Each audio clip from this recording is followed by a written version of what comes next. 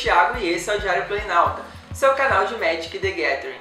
E hoje eu vou trazer rapidinho para vocês um update, galera, sobre dois assuntos. O primeiro é sobre o GP de São Paulo que aconteceu no último final de semana. É, vocês devem ter visto aí, eu coloquei um teaserzinho de como foi. Foi muito bom, foi sensacional. Foi o primeiro GP que eu fui na minha vida. Uh, encontrei muita gente bacana lá a galera profissional do Magic, a galera amadora, né, que tava lá só pra competir se divertir. E além do mais, eu encontrei a galera do YouTube, o, vários camaradas que têm os canais no YouTube sobre Magic e que alguns eu já conheci pessoalmente, mas a maioria eu só conhecia é, pela internet mesmo e eu acabei conhecendo eles pessoalmente lá e foi muito, muito bacana. Foi uma experiência incrível, troca de ideias, de conhecimento uh, muitos jogos, uh, teve Pauper, Commander, T2, Modern, teve de tudo, galera, de tudo. Foi muito bom. Eu gravei é, diversas imagens uh, para mostrar para vocês um pouco como é que foi, contar para vocês. Eu estou editando ainda essas imagens.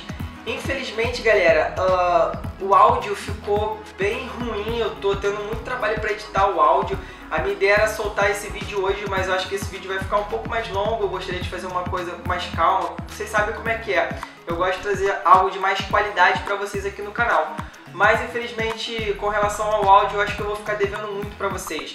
Eu fiz um investimento muito errado num gravadorzinho de mão, só que ele simplesmente me desapontou totalmente. Mas enfim, eu pensei até em não fazer essa edição e deixar isso, esse material para lá, mas acho que seria uma grande, é, uma grande perda né, de, de material e, de tempo que eu fiquei fazendo e pensando em fazer as coisas para vocês. Bem, espero que vocês não liguem muito para isso. A outra coisa que eu quero falar com vocês é sobre o lançamento da nova edição Uh, eu ainda não trouxe nada aqui no canal falando sobre Eldritch Moon, né, do Arcana, pois eu estou esperando acabar de sair todos os spoilers e eu vou tentar fazer um review breve, na verdade eu vou tentar fazer alguns reviews. O primeiro review eu vou tentar lançar na quinta-feira que vem, para falar sobre quais cartas aí para vocês prestarem atenção que podem jogar no pré-release, né?